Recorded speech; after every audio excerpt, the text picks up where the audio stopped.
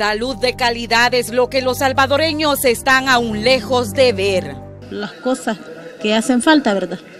Porque ellos dicen que ellos quisieran ingresar a los pacientes, pero no pueden porque no tienen el, el equipo disponible. El área de emergencia del Hospital Nacional Sacamil se convirtió en grito de batalla sindical. Verdadero drama por la falta de espacio. A lo largo de este año, los sindicalistas también lamentaron la carencia de medicamentos, equipo e insumos médicos. Las deficiencias que el hospital ha tenido a través de los años persisten, que con pequeñas mejorías y probablemente con pequeñas inversiones o grandes inversiones en equipos, pero no son suficientes, eh, todavía el hospital sigue atendiendo a su población no como se lo merece. ¿A pueblo de esta no, no tiene? Solo, solo, solo, esta. Ah, solo. de la otra cosa. O sea que e, esta sí tiene, pero para el otro mes. Múltiples necesidades. Muchos pacientes, así como llegaron, regresaron a sus casas con las manos vacías, sin medicinas. El área de lavandería de este centro asistencial también requiere atención. Que esa tiene aproximadamente tres años que fue salud la ha donado. Esta es la que el, el hospital con fondos propios la ha comprado. ¿Les hace falta una? Nos hace falta Dos. El director del centro asistencial admitió los señalamientos y dio una respuesta. No hay capacidad para cubrir la demanda. La saturación viene ya de un par de años, ¿verdad? Ya la saturación que estamos teniendo, que las camas no son suficientes, ya son cuatro o cinco años que se da esto. Pero el Sacamil no fue el único. El Hospital Rosales, principal centro asistencial de la red pública del país, también evidenció falta de medicinas, en especial para pacientes con enfermedades crónicas. Hemato-oncología, asatriopina, seimercaptopurina, gencitabina, bleomicina, plaquitaxel y la vancomicina que se le da a los pacientes. A la vancomicina algunas veces hay, otras veces no hay. Son para, estas son para leucemias, imagínense usted.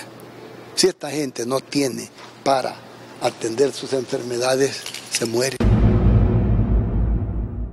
Han sido las continuas quejas en materia de salud las que motivaron a un grupo de diputados a recorrer el Hospital Rosales. Desplome de techos por colapso de tuberías, el no funcionamiento de quirófanos, saturación de pacientes, falta de medicamentos y la deficiente atención del personal fue lo que comprobaron.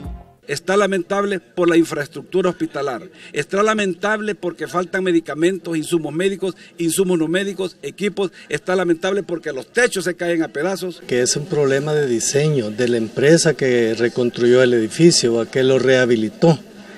Eh, son problemas de las tuberías que en varias ocasiones ha sucedido lo mismo. Y no faltó el ejemplo de quienes deben esperar muchas horas para ser atendidos. Usted le pide un favor al de farmacia que le entregue medicina, no le quiere entregar. Pero si usted le lleva un regalo, una bolsa con pan o con pollo, ahí así se la dan y vaya a ver un montón de gente esperando medicina ahí. Estos números son todo el tiempo que tiene uno que es posible a las 3 de la mañana estar esperando para retirar medicamentos. Pero 2015 también fue un año marcado por la enemistad entre el director del Rosales, Mauricio Ventura, y siete especialistas, jefes de servicios del centro asistencial, por falta de confianza y el no cumplimiento de labores. Los casos del secretario sindical Alcides Gómez y del doctor Rafael Menéndez se resolvieron en un juzgado de lo civil. No pudieron ser despedidos. El resto aún espera avance del proceso. Esa acción tomada vilmente por parte de las autoridades no responde más que a una venganza a mi actividad gremial, a mi actividad sindical. El sindicato de enfermería del sector salud se sumó este año a las protestas, exigiendo a la ministra Violeta Mengíbar mejore sus condiciones laborales. No estamos pidiendo nada más que se respeten los derechos constitucionales. En noviembre pasado impidieron el ingreso del personal administrativo de esa cartera. El Seguro Social también tuvo demandas. A inicios de mayo y por 10 días, sindicalistas redujeron labores y bloquearon el ingreso de trabajadores en la torre administrativa.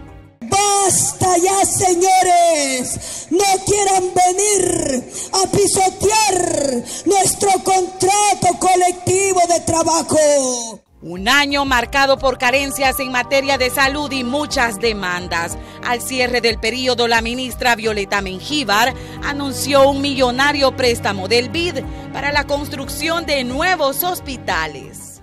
Vamos a dejarle, el presidente Salvador dejará un moderno y nuevo Hospital Nacional Rosales y vamos a construir un nuevo hospital en el norte de San Salvador para atender a esa población que el Sacamil ya eh, está un poquito ya limitado. Para este nuevo año, el presupuesto de salud ronda los 640 millones de dólares, lo que muchos creen no será suficiente para superar deficiencias y dar mejor trato a la población.